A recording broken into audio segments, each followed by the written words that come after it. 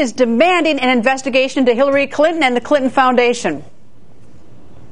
The amounts involved, the favors done, and the significant number of times it was done require an expedited investigation by a special prosecutor immediately, immediately, immediately. Donald Trump's newly minted campaign manager, Kellyanne Conway, goes on the record. Nice to see you, Kellyanne. It's great to see you, Greta. Thank you. Kellyanne, your boss wants a special prosecutor. Who does he think is going to appoint it? Because typically it's the Attorney General of the United States, and uh, she and FBI Director Comey have pretty much indicated that they are not going to do any more investigating. Donald Trump today got the support of his vice presidential nominee, the chairman of the Republican Party, Mayor Giuliani, and many other people who just want to get to the bottom of this. And to answer your question, Greta, I would hope that this administration, who called itself, quote, post partisan and the most transparent administration in history, would do the right thing here, appoint a special prosecutor so that all of us can know what's happening. Um, it doesn't look good. And it doesn't look good for someone who was already distrusted by a majority of Americans as dishonest, and untrustworthy. Um, you, you've seen the numbers. You have more than half of the meetings uh, resulting in people who gave to the Clinton Foundation upwards of 156 million dollars. And I also just think it's I think it's untoward, but I also think it's lazy. Greta, as you know, members of Congress who raise money, they leave their congressional offices and they walk across the street to the Republican committees, as do the Democrats, frankly, to their party committees, and you make the phone calls there because you're not allowed to do it on federal property. We should not allow the State Department to be this concierge for foreign donors who want access to a Clinton Foundation that has little relationship to the State Department, period.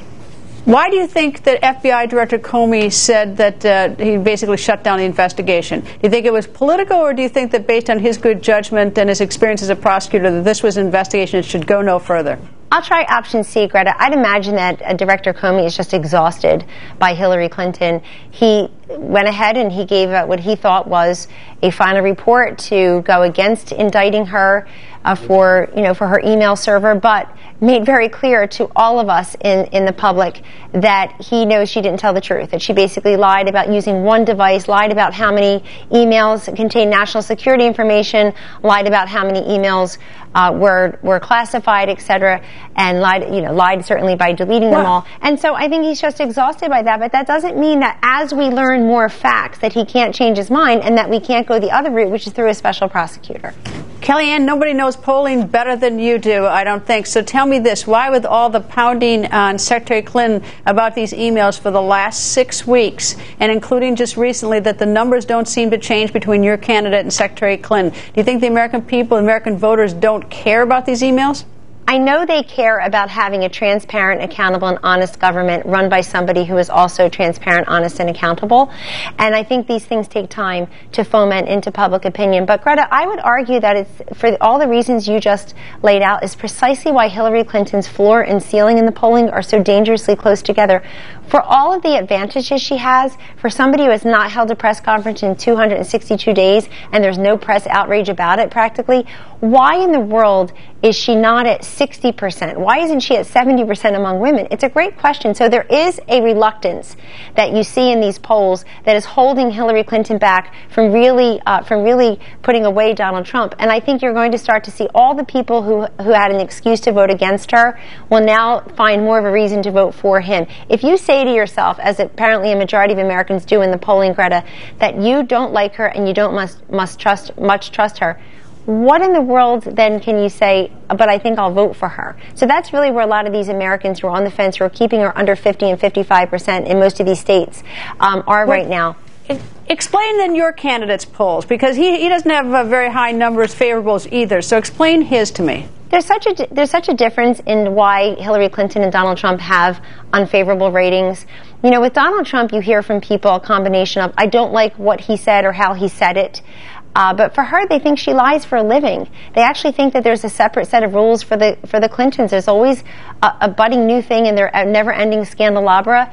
They, they, she always sort of reinforces her greatest negatives, and so with him, it's hey, I don't like what he said or how he said it here and there, or I'm not sure he can execute and deliver because politicians never execute and deliver. So what if he's just the same? And that's why he's giving these very specific, solution-centric policy prescription uh, speeches now, where he, at these rallies where he's telling people, here's my 10 point plan to reform the VA.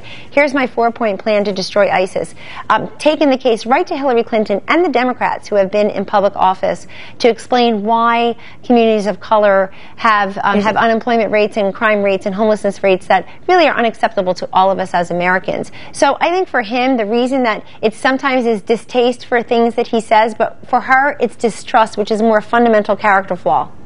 All right. Well, you caused a buzz this weekend over a possible shift in Trump's immigration plan, but Trump denied that his plan has changed. Here's what he said to Sean Hannity in a Texas town hall that will air later tonight.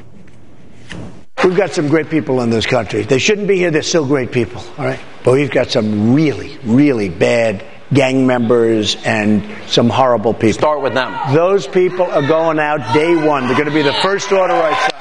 They're going out day one. All right, but I know this question has come up a lot. What about people that work hard, have been here a long time, they own homes, they, they have their property? And this is a question everyone's going to want answered. What about them? Do they have to go back, or would you reconsider? We that? are going to follow the laws of the country. Kellyanne, before I get to that, on Thursday we were expecting an immigration policy speech from Donald Trump. That has been taken off the schedule. It's supposed to be in Colorado. What happened to that speech? That's a speech that we inherited that was never even have form. There's such a complex issue, and he's very clear about what his thoughts on immigration are, that we want to get it right. He's taking the counsel of many different people, Greta, and um, he has said he hasn't changed. I have said he hasn't changed because uh, he wants to do a couple things. Enforce the law, which would take care of a lot of these, these issues, and then also uh, get rid of the criminals, and then find a humane and effective way to to to to, to um, address the issue that 11 million plus live among us. But also be fair to the American worker, be fair to all of us who are either looking for jobs or are concerned about, um, or, who are also concerned that employers maybe aren't doing enough to verify who is working in their businesses and living among us. Kellyanne, nice to see you. Hope Thank you, you for having me, Greta. Absolutely. Yeah. And the crowds are pouring in. Donald Trump getting ready to speak in Austin, Texas. Fox's car- campaign Carl Cameron is live inside the Austin Arena. Carl? Hi, Greta. Well, there's an awful lot of discussion about immigration, but also the idea of a special prosecutor. Trump's had a quiet day. He's been in Texas, he's had a couple of private meetings, and he'll have a big rally here in Austin later tonight. You know, Texas is a red state. It's been voting Republican for president for the last nine cycles. Uh, tomorrow he'll go to Mississippi, another state that's been solidly red for almost you know 30, 40 years. Uh, so for Trump to be here is about raising money and it's about organizing the base. And it does come in this week, as you were talking to Ms. Conway about, where there has been uh, three states that were taken off the schedule.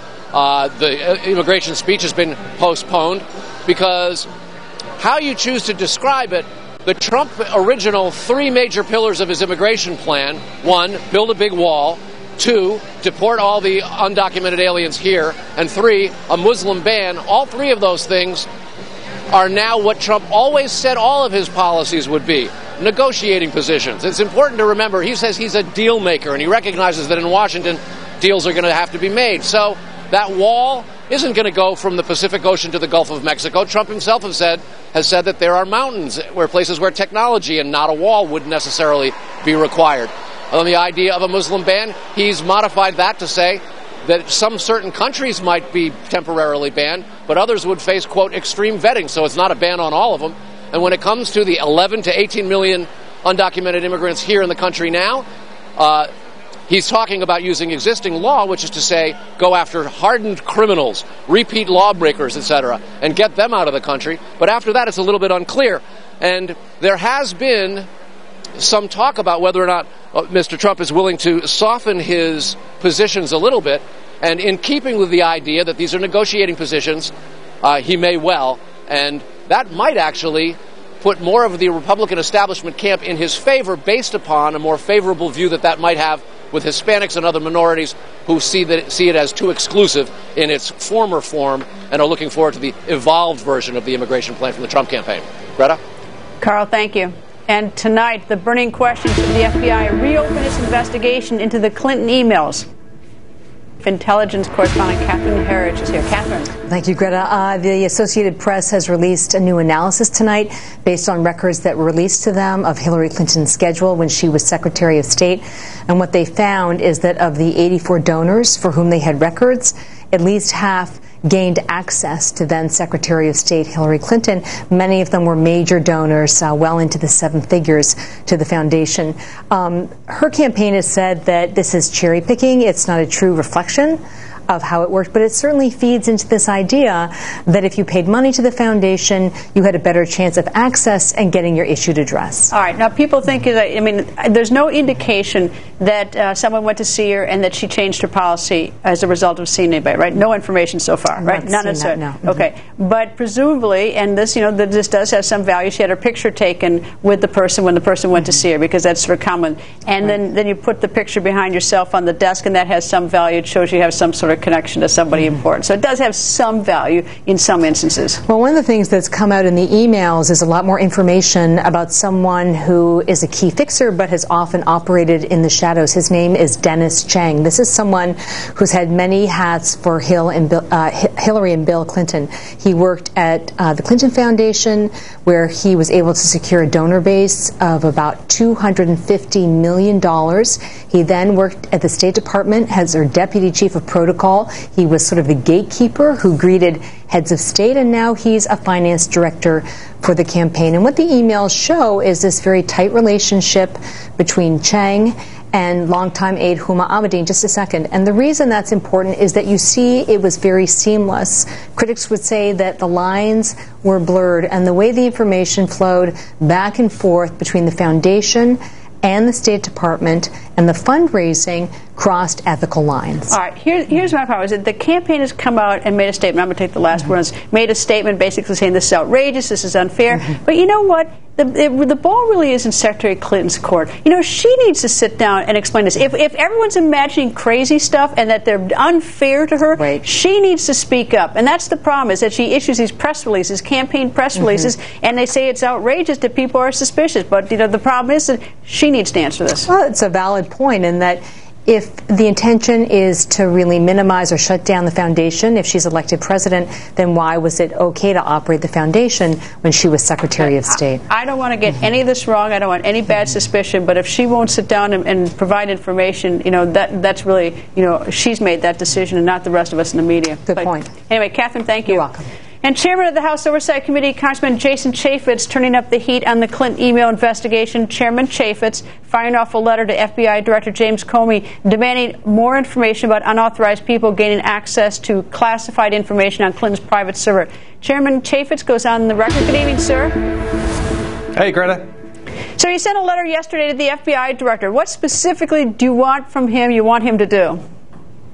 Well, I wanted to provide more light on the on the problem. This is one of the biggest breaches of classified information uh, that we've had at the at the State Department, and it was done knowingly and willingly. The very day that Hillary Clinton started her her Senate confirmation is when she went to go get this domain name and set this thing up. She created this problem for herself. It was the Inspector General that gave the criminal referral to the FBI that started this investigation, and we want the FBI director director to look at those people that Hillary Clinton gave access to this information who did not have a security clearance. There's classified information. It's so classified that even I, as the chairman of the Oversight Committee, I can't see it, but Hillary Clinton gave it to people who don't have a security clearance. All right, two things. One is if there's an innocent explanation for all this, is instead of making us look like we're on a witch hunt, she should speak out. She should give a press conference and answer these questions because I don't think anyone of want to, at least I don't want to get it wrong. I don't want to get it wrong. And I only have the information I can operate from as we sort of pull teeth and try to get the information out. The second thing, and maybe you know this, her lawyers went through her server, went through her emails and deleted about 30,000 of them. But they went through the full universe, not actually reading all of them, but the header. Did they have security clearance? I mean, this whole process, just going back to the get go, did they have the appropriate security clearance to go through her emails with the possibility of a classified one there? We do not believe they had the proper and high enough security clearance in order to go through those emails. She testified under oath, Hillary Clinton, that they had read through it, gone through this in great detail. But then the FBI director testified to us in Congress that that was not the case. And so, well, again, well, it continues problem, but, to go. But, but, but even before we get there, they have to have the authority to look at classified information. That's the yes. first thing. The second thing, She's, which I would love, I'd love to hear from her about, is that her lawyers went through and sorted it. They found 30,000 that they said were personal, and knowing that the House wanted them, they then deleted them. They made the choice. Look, She's not the head of Fish and Wildlife. She is the head of the Secretary of State. She's dealing in classified information on an hourly basis. It's reasonable to think that her information is chock full of classified information. And it is. And it was. And that's why when she gave access to those attorneys, and by the way, the IT professionals that were also allowed to access that computer, we don't know who these people are. I went into the SCIF and go look at these materials. That information is redacted. They shouldn't be holding that information information back from Congress. Who are these people that had access to this information? And I take no pleasure in getting it wrong. And so I beg of the campaign, yeah. beg of Secretary Clinton, if yeah. this, you know, if we are all wrong, you know, please hold a press conference and explain it because I don't think anybody in the media wants to get it wrong. But anyway, Congressman, thank you very much. Let me go to the viewers now. Thanks, viewers at, at home, this is your chance on Twitter. Do you think the FBI should reopen the investigation into Secretary Hillary Clinton's emails. Tweet yes or no using hashtag Greta. We'll show you your live Twitter votes throughout the show. And brace yourself. Here comes the mud. The political television ad games are heating up. The RNC releasing their new TV ad about Secretary Clinton. You'll see it next. Also, has Donald Trump changed his mind about how to deal with illegal immigration? Find out from Donald Trump Jr. He's coming up. Late last night, Donald Trump launching his first general election television ad, and today the RNC releasing a new TV ad aimed right at, you guessed it, Secretary Clinton. The title, Caught Lying Again. The On the Record political panel is here from the Washington Post, Aaron Blake, and from Fortune magazine, Nina Easton. Nina, for six weeks, Donald Trump, and I guess the RNC has been calling Secretary Clinton crooked, lying, um, but the numbers, she doesn't seem to doesn't seem to impact her on the numbers, or Donald Trump necessarily on numbers. What's going on? Well, part of what's going on, and by the way, they're going to underscore this, I think, effectively, Republicans and Trump by calling um, for a special prosecutor, as you keep hearing. So they're like amping up the um, the, the argument. That said, you know, she she's right about with Donald Trump in the dishonesty um, field in the polls. And the other thing is that people are voting or choosing a candidate in part on temperament. And she comes out much higher on temperament as a commander in chief than he does. He is, there's something like 65% in the latest Fox News poll who don't think he has the right temperament to be um, president. And the big problem he has is with you know when you look demographically you have to look at it demographically. You have to look at you know blacks. He's not going this isn't going to affect him his standing with blacks. You got to look at latinos. It's not going to affect his standing with latinos. And then with women you go back to the temperament thing. He's got this problem with women and you've got almost like a version of this 2004 security moms who are concerned about Donald Trump um, having his finger on the button, and that's that's the, the, the problem they're in right now. Well, even the women thing, Aaron, is that is a, in 08, the women were all behind Secretary Clinton because it was the glass ceiling. Now we have three Supreme Court justices, millennials who can now vote. They they've seen so many women in high positions that they don't have that sort of a, you go girl a right. little bit, and she's not. I mean, she's not doing particularly well with the millennials as as spectacular as you would expect. So she, the women vote. She's not going. It's not a gift to her. It's not, but I think that on this issue in particular, Donald Trump is disqualifying himself. As much as three fourths of women have an unfavorable view of Donald Trump. Uh, I, by the way, I do think the crooked Hillary stuff and the questions about her honesty, I think that has been hurting her on a kind of a constant basis. It's just been Donald Trump doing other things that have maybe hurt him more. There are still major questions that the American electorate has about Hillary Clinton's character her honesty, stuff that's going to be furthered by this Clinton Foundation stuff that came out today, the pay to play politics that are being alleged. And so I, I, think it's not so much that the attacks on Clinton haven't worked as Donald Trump has hurt himself even more and kind of created this problem for himself particularly among women. Look, they're, they're clearly clear uh, concerned. I mean, they're doing damage control over the Clinton Foundation, right? So they're talking about downsizing the Clinton Foundation. President Clinton would step off the board. They wouldn't take donations from corporations. Now, and I mean, yeah, you know, that should be done know, now. It's the problem. But they understand the optics of this and how. I mean, the t- polls are going to tighten, and it does it does hurt her to some degree. I, I just always think that what if we did if she didn't have emails and Trump didn't have Twitter, the temperament thing? What would they? How would they go after each other? It'd be like a, a oh policy. Oh my gosh. Policy, what a shock. Look at the numbers. What a shock. 88% think there should be a special prosecutor, although I don't know who's going to point that because that's supposed to be the attorney general, so that's not happening. Uh, FBI investigation is what the, an FBI investigation, 88%. Okay, Nina, Aaron, thank you both.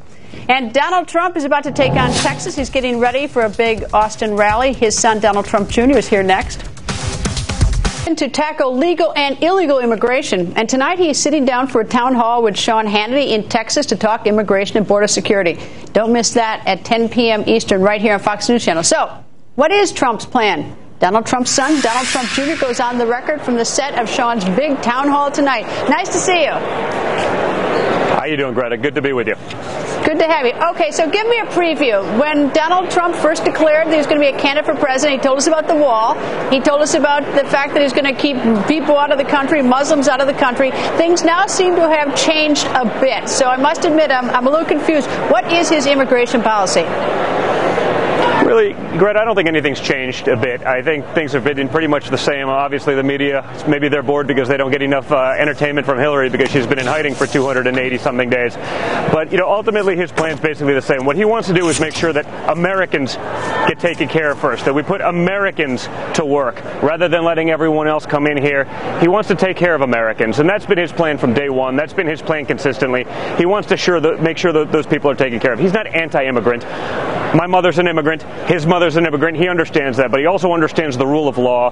He realizes that people have to follow laws like they did to get into this country, uh, and that's how it should be done. Does, does that mean that mass deportation of the estimated 11 to 12, 15 million illegal is off the table?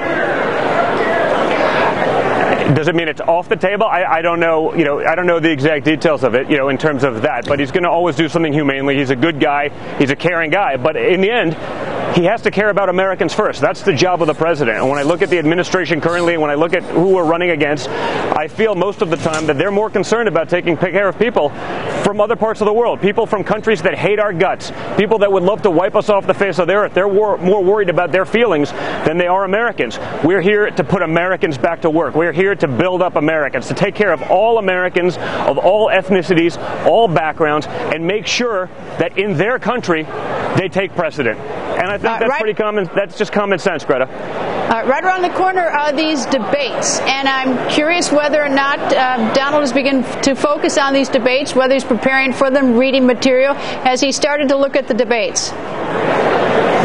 You know, he certainly has. I mean, he's looking at that. He's thinking about it, but he's living that day to day. I mean, he's hearing what the American people have to say. He's been, I've been saying it for a long time, Greta. He's giving them a voice again. Uh, our politicians have largely forgotten the American people. They're catering to their special interests. They're catering to the people, foreign and domestic, giving, you know, millions and hundreds of millions of dollars to their various foundations. You know, that's not what my father's about. My father's about hearing the American worker, the hardworking people who made this country great, who built this incredible nation He's about making sure that they have a voice again. And so right, he, he's hearing from them on a daily basis as he travels the country, and that's his debate prep. Often here on, on the record, I talk about LBJ's war on poverty that he declared in 1965 and which has been a dreadful failure. We have lost that war on poverty. He spoke the other night to African Americans who live in many of these inner city areas that are very poor. What, what difference, what would he do differently for these inner cities to try to win this war on poverty that we have so far lost dreadfully? Well, listen, again, the Democrats certainly have a stronghold, uh, you know, on those cities. But if you look at their policies, as you said, starting from LG, LBJ, it's been a total disaster. I mean, it's created a vicious cycle that has kept people in poverty, that has kept people so away from jobs, do? that have kept people. He, first of all, I think he, he'd create law and order. I mean, he's been a you know vocal advocate for that. You, you have to have law and order. You can't have cities and you know towns that are run by gangs uh, and and thugs uh, and people who are afraid to ultimately prosecute them. I think you need law and order. Then you have to focus on education education, making sure that those people get the same chances of a good education. You know, not an education system that's ruled, you know, from D.C. that can't understand the inner workings of those cities that have never even been in the inner cities. Uh, you have to give people an education so that they can get out of that cycle. Uh, it, it's not an easy task, but it's something that he's going to do. And you know, I, I think he's frankly said it best. Look at the policies that the Democrats have given them. Look at where you are today. If you live in those communities, you're no better off than you were, you know, two decades ago, let alone eight years ago. And candidly, you're probably worse off in most cases. So it's about making sure that those people have an opportunity, the same opportunity that you and I want for our kids uh, and, and grandkids. We want to make sure that those people get that same chance. Thank you very much for joining us. And a note to the viewers uh, one more time do not miss the Sean Hannity Town Hall tonight at 10 p.m. with Donald Trump, 10 p.m. Eastern, right here on the Fox News Channel. Get ready to speed read the news. Remember former Stanford swimmer Brock Turner? He was sentenced to six months in jail for raping a passed out drunk classmate. Well, now Stanford University is making some changes. The university is banning hard liquor for undergraduates on campus parties. Beer and wine can still be served. Turner blamed his criminal behavior on being too drunk. And watch this wild video showing a drug bust on the high seas. Italian police chasing two suspects on high speed jet skis. Officers used a speedboat to catch up. One suspect arrested. Police finding nearly 500 pounds of marijuana. The other suspect got away. And guys, take note. This is not the way to impress a girl. A University of Pittsburgh student got himself stuck between two buildings. The 22 year old was showing off to a young woman by jumping roof to roof. Unfortunately for him, he fell between two buildings and got wedged in a 16 to 18 inch wide space. Police had to break through the walls of a restaurant to get to the young man. No word if his female friend was impressed. Read. And this is disgusting. A possible ISIS beheading right here in the United States. On the Record investigates next. Plus, President Obama heading to Louisiana. Did he make the right decision by waiting? That's coming up. This is gruesome, and it's also disgusting, and it's disgraceful. A possible ISIS beheading right here in America. The FBI is investigating a stabbing in Roanoke, Virginia, as a possible terror attack. And it gets worse. The suspect may have tried to behead one of the victims. On the records, Griff Jenkins is on the ground in Roanoke investigating this horrific crime. Griff? That's right, Greta. Shortly after 8 p.m. Saturday night, police say that 20 year old Wasil Farooqui attacked a couple coming home in this apartment complex over my shoulder. The couple live on the top uh, floor of what is a three story apartment complex. He apparently attacked them with a knife. It appears to have been random. And the FBI, of course, investigating because multiple witnesses to what happened here said that Farooqui was shouting Allah Akbar or God is great, often heard in acts of terrorism. We were able to speak with uh, one of the neighbors here who lives directly across from the couple that was attacked. Her name is Angel Von Baron. Here's what she told us. I saw a lot of blood on the rail down there on that second landing, and a rag looked like it might have been part of her shirt. Okay, this is so no one was fighting in this stairwell. You saw Not when what I was a came out. trail of blood. Yeah. Where would there's blood on this? There was blood there and over here. So it looked like signs of a struggle. Yes, and it sounded like it, but I thought it was kids at 1st Mhm. running up and down the stairs, and that's not what it was. Now, Farooqui fled this scene. The husband was able to fight him off, but he was ap- actually apprehended at a local area hospital where the victims were, and that's where police took him in custody. We spoke with Roanoke County Assistant Police Chief Chuck Mason. Here's what he had to say. As far as we can tell, uh, there was no connection between the victims and the suspect. They had never seen him before. Um, it appears to us to be a, a random attack. Um, there has been, I'm aware of some speculation that this was an attempted beheading. Um, both victims were stabbed and cut repeatedly, and the male victim did, in fact, suffer a uh, a severe laceration to the side of his neck, but there was nothing that appeared to be uh, an attempt at a, at a beheading. The local officer who lives in this apartment complex behind me, who did not want to be named or go on camera, told me that he leapt into action with his training to try and save their lives. The husband is out of the hospital. The wife remains critically injured. The FBI, of course, investigating, and Farooqui in jail awaiting a hearing on September 1st. Greta? Griff, thank you. And today, President Obama seen firsthand the horrific Louisiana flood damage. The president took some heat from critics, including Donald Trump, for not going sooner. But the Republican governor of Louisiana told President Obama to wait. Fox News correspondent Will Carr is live in Baton Rouge with how residents received the president. Will? Good evening, Greta. We're driving down the streets here. I want to give you a visual of the exact thing that President Obama saw just a few hours ago. Piles of debris, as one resident put it to me, thousands of memories that have been dragged to the curb, 145,000 homes damaged, estimated $30 billion. We're told it's going to take years for this area to recover. President Obama today touring the area and telling the community every resource is available. He also took the time to meet with Alton Sterling's family and the families of the slain police officers from this area. Some residents questioning if that was the right time because they think this disaster really has pulled this community together and they don't want to focus on the schisms that happened before it. At the same time, we're seeing so many examples of selflessness. One man whose family lost everything has been cooking chicken stew in this neighborhood and then handing it to neighbors. Uh, and then there are the five high school football players who go to East Ascension High School in the Baton Rouge area here. They had a four hour practice in 105 degree weather today. Then they went to one of the neighbors around here and helped him pull out all of his items for six hours. Just a short time ago, they went home. They're going to get dinner, go to sleep. They have practice again tomorrow. Then they plan to go to a widow's house and do the same thing. So, two examples of the strength that we're seeing as this recovery continues. Greta. Well, thank you. And not too happy with the 2016 candidates? The doctor may have a cure. Green Party presidential candidate Dr. Jill Stein is here next.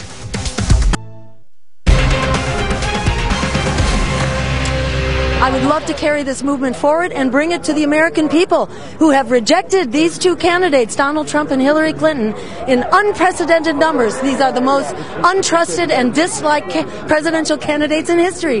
The American people not only have a right to vote, they have a right to know who they can vote for. And I think the next steps are to ensure that we have media with integrity that are actually covering real choices. And thank you for being here today. That was Dr. Jill Stein, the Green Party's nominee for president. Yes, there are more people than just Donald Trump and Secretary Hillary Clinton running for president. Jill Stein, eight doctors on the ballot in 32 states, including Washington, D.C., and she says we need a third option for president majority of voters has rejected Hillary Clinton and Donald Trump and are clamoring for something else. So who are those on top to be giving marching orders to, you know, uh, voters to be good little boys and girls? Politicians do not have a new form of entitlement. They are not entitled to our votes. They have to earn our votes. And Hillary Clinton and Donald Trump have not earned our vote. Green Party candidate for President of the United States, Dr. Jill Stein, is here to go on the record. Nice to see you, Doctor. Great to see you, Greta. Uh, before I find out what your passion is and your uh, and your political ideology, uh, why just in a soundbite, um, why shouldn't someone vote for Hillary Clinton or Donald Trump? Well, they have to earn your vote, and so far they haven't. The Either majority, one? Yes, I mean the polls show that the majority of American voters dislike and distrust both those candidates at record numbers and are clamoring for someone else. Are they lousy candidates? Uh, in my view, they are. They are a continuation of the system that we have that has thrown the American people under the bus. They've sent our jobs overseas, and you know Hillary has a track record. Donald has sent his jobs overseas, although he's complaining about the uh, Trans-Pacific Partnership. But that's what he's been doing. Uh, he says uh, terrible and frightening things. He's a fearmonger and a and a hate monger and a warmonger. But Hillary has a track record for doing most of what Donald is talking Okay. about. What is your passion? You're a Harvard-educated doctor. Why did you become a candidate for president of the United States? I am a mother on fire, and we have a younger generation that really does not have a future. They don't have jobs. They are locked into student loan debt, which is not payable in the economy that we have, and the climate is collapsing on their heads. Uh, you know, I'm as a medical doctor, I'm now practicing political medicine because it's the mother of all illnesses, and if we want to fix the things that are literally killing us, we need to heal our sick political system. All right, you're on 32 ballots, which is big. That's a lot of More states. than that now. Okay. We're- It's now up, uh, I believe it's 40 at this point and climbing. So we expect to be on just about every ballot. All right, it would really help you to get your message out if you could get on that debate stage. Is, that doesn't look like it's going to happen the way you're Well, polling. Well, but we, you know, that polling is predicated on uh, having no visibility in big media, and only in the last week have we begun to get a window. We actually did a an hour and a half long uh, uh, forum, town hall forum on CNN. We were uh, number one on on Twitter uh, in that forum. There's enormous interest out there in our campaign, and I would dare anyone who says that there's not interest host a town forum, a town hall forum for us, and let's see how much interest Right. there is. Obamacare. Everyone's going to unfortunately get sick. People are worried about it. Some insurance companies are now leaving the market, so there's going to be no competition is going to drive prices up. Very succinctly, what would you do about Obamacare, if anything? So Obamacare had failed even before it was implemented. We had it in Massachusetts, my home state. We called it Romney Care before it was Obamacare. And we knew that prices simply skyrocketed, that people who were truly sick didn't get covered. There are all kinds of holes in it. We need a simple system, a Medicare for all system. You basically drop the age of eligibility for Medicare. You patch up the holes that have been knocked into it. It has really low overhead, about 2%, as opposed to our current system where it's more like 20%. 20%. Half of a trillion dollars a year of our healthcare dollars are actually going into paper pushing, bureaucracy, into big CEO salaries, uh, not into healthcare. We can streamline this bureaucracy with a single payer system and be able to afford comprehensive healthcare for everyone as a human right. Tax code. Everyone's mad. There are 3,300 uh, special interests in this tax code, and even the members of Congress who passed the tax code can't do their own taxes. What would you do about the tax code? Um, well, number one, the tax code is extremely unfair in addition to being extremely complicated. So we need to make a fair tax code. You know, I think. Is that like flat tax, a regressive tax, a sales tax, consumption tax, value added tax? Where are you? Yeah, I mean, there's all, you know, kind that's currently what we have except for the uh, so-called consumption tax, but we have a plethora of taxes and they are largely regressive so that the burden falls on middle income and working people and poor people for Could, that what matter. Would you, how would you change that? Uh, I would make taxes more progressive. I would ensure that the wealthy are paying their fair share. Because but they're already paying. Some are paying over fifty percent when you add all these state taxes. I mean, I don't know where all these deductions are that everybody's getting. I mean, Bernie Sanders paid thirteen percent, by the way. I think it was. Did you know that? I think it was. Uh, a, he paid pretty low. I, I know it was, you know, it Maybe wasn't, it wasn't up 13. there. I think it was around 20% or something still, like that's that. low. Yeah, yeah. So, you know, I think, yeah, we need to eliminate the unfair deductions. We need to ensure that the people who are really benefiting from this society are paying into it. Like, for example, do you know how many lawsuits Donald Trump has? Donald Trump has, has been involved in 3,500 lawsuits over the last couple of decades, and he's apparently not paying taxes. I- so well, what's I- wrong with know this what? picture? I He's know. bankrupting I- our legal I don't, system. I don't know if he's paying tax. We haven't seen his tax returns, and I've been critical. He needs to show his tax He returns. does. Hillary Clinton Yes. needs to show her tra- her uh, her speech transcripts, and we need more information from everybody. But anyway, thank you very much for joining us, and good luck. Great to be with you. And coming up, this is what happens when you're not in the tabloids. I'll tell you off the record. Road happy. Let's go off the record. There is much going on from catastrophic floods in Louisiana, killing 13 people, destroying tens of thousands of homes, to Secretary Hillary Clinton campaigning, even making an appearance on Jimmy Kimmel's show, to Donald Trump also campaigning and, yes, even tweeting, which always captivates the attention of many. And in the midst of all that's going on, Donald Henderson died. Who? Yeah, that's what I thought. Who's Donald Henderson? Well, I decided to find out, and when I did, I thought, shame on me. Dr. Donald A. Henderson died last week at age 87. I didn't even know who he was. You probably didn't either. But the world owes him an enormous amount of gratitude. This Baltimore resident was the leader of one of mankind's most important public health feats, the eradication of smallpox. Smallpox killed millions of people, and nothing was going to stop smallpox from killing millions more, except for Dr. Donald Henderson. There are many great people who do spectacular things, but they never appear on TV, never in the tabloids, so we never get to know them to thank them. That is Dr. Donald A. Henderson. So tonight, for all of us, I thank him, and I sure hope his family's watching. And that's my off the record comment tonight. And it's time for your campaign flash. Get ready. Donald Trump is about to speak in Austin, Texas. And then at 10 p.m. Eastern, watch the Trump Town Hall on Hannity. Secretary Hillary Clinton holding a fundraiser at Justin Timberlake's Los Angeles home, and you can bet it was star studded. Timberlake tweeting this photo with Secretary Clinton and his wife, Jessica Biel.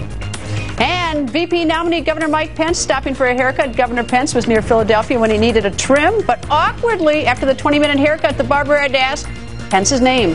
And that's your campaign flash.